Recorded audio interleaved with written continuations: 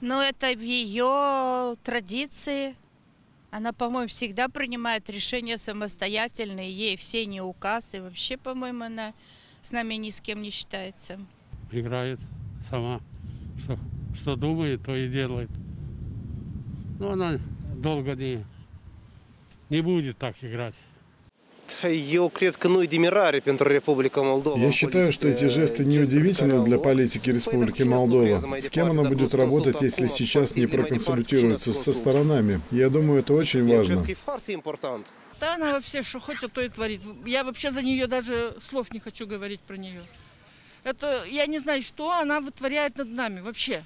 Она просто, мне кажется, она хочет эту нашу страну э, продать что ли кому-то. Или... Она не, не наша, она не, не молдаванка.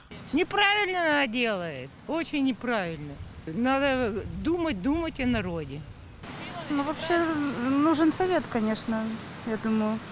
Потому что у нас все-таки парламентская республика, и нужен не президентская. Suntem într-o situație așa creată în Republica Moldova. В Республике Молдова мы находимся в такой ситуации. Законодательная власть уже не представляет народ, а Майя Санду должна уважать решение Конституционного суда.